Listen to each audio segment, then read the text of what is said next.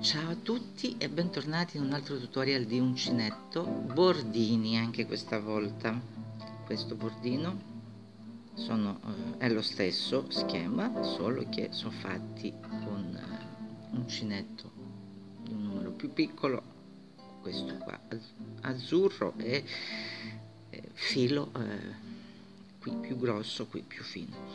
Ovviamente voi potete utilizzare il filo e uncinetto ancora più piccoli per eh, ottenere eh, un bordino per mettere una tovaglia elegante eccetera. E questo lo potete utilizzare questo filo e questo uncinetto lo potete, lo potete utilizzare per fare bordu, bordini a una bordo a una coperta. Dunque qui ho fatto eh, ho utilizzato come eh, base come maglia di base eh, maglia mezza alta.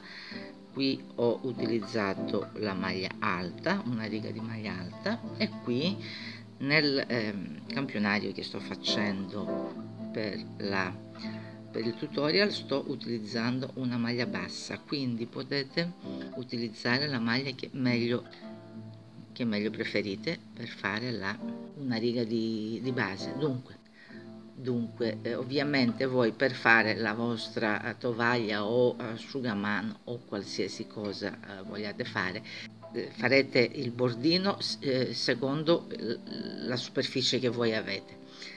Ma eh, per realizzare questo bordino bisogna calcolare un eh, multiplo di catenelle, di maglie di, del 6 più 1 perché se cominciate direttamente facciamo una catenella.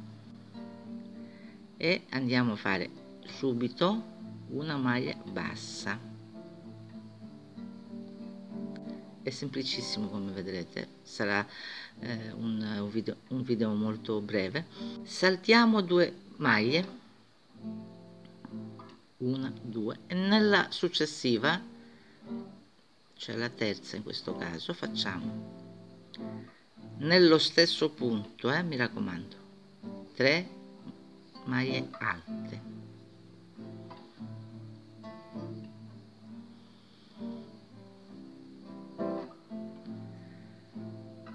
3 un punto picot. Per fare un punto picot si fa come abbiamo già detto 3 catenelle e andiamo a unire qui in base facendo una maglia bassissima. E poi sempre nello stesso punto facciamo ancora 3 maglie alte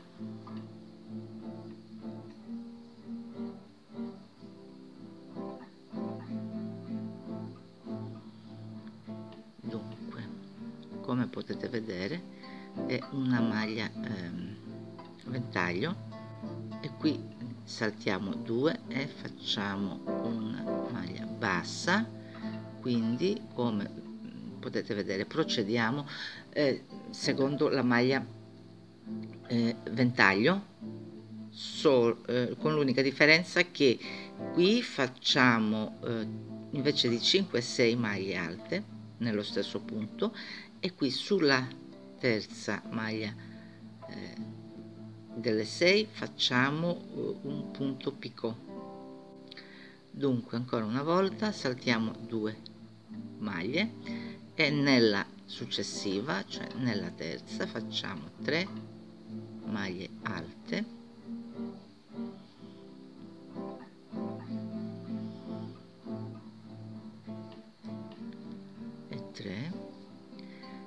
per poi andare a fare il punto picot cioè 3 catenelle che andiamo a unire qui. Inseriamo l'uncinetto qui e andiamo a unire con una maglia eh, bassissima ed ecco. E poi facciamo ancora 3 maglie alte sempre nello stesso punto. Le 6 maglie alte sono tutte nello stesso punto.